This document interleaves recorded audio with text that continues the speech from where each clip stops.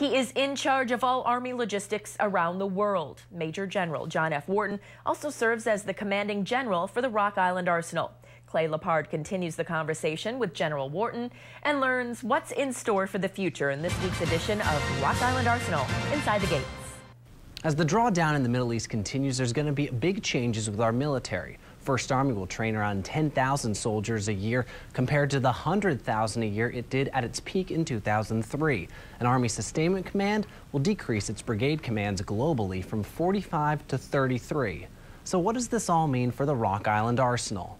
So you're going to see a lot of changes in the future as we, uh, we move down the road. Last summer, Major General Wharton outlined his plan for the future in front of Quad City leaders, which includes rebranding the island to showcase its importance for organizations like Army Sustainment Command. We are headquartered here on Rock Island Arsenal, but we sustain uh, globally, and that is one thing that I don't know is well known to the public. Showcasing it as more than just a weapons manufacturer and the rebranding is underway. Expect to see welcome signs go up on both sides of the post in the near future, along with more emphasis on new, clean technology. They talk about new construction going up. We're moving to net zero energy. We're trying to get off coal. We've got the turbines running, so we're compressing, consolidating to become more efficient as an organization.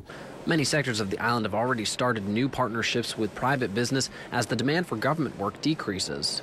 So you're going to see more and more of a strategy from uh, the arsenal. A strategy that more closely ties the arsenal to the community and its local businesses. Right now, the arsenal creates an economic impact of $1 billion to the area, along with an annual contribution to charity of nearly $500,000. We have an obligation as United States Army to our community. How do we help the community, be, you know, in the future? All in all, there's one thing Major General Wharton says he won't change, and that's the people. I've had uh, 26 moves in 30 some years, and it's the best community I've ever been in, and I say that honestly and sincerely.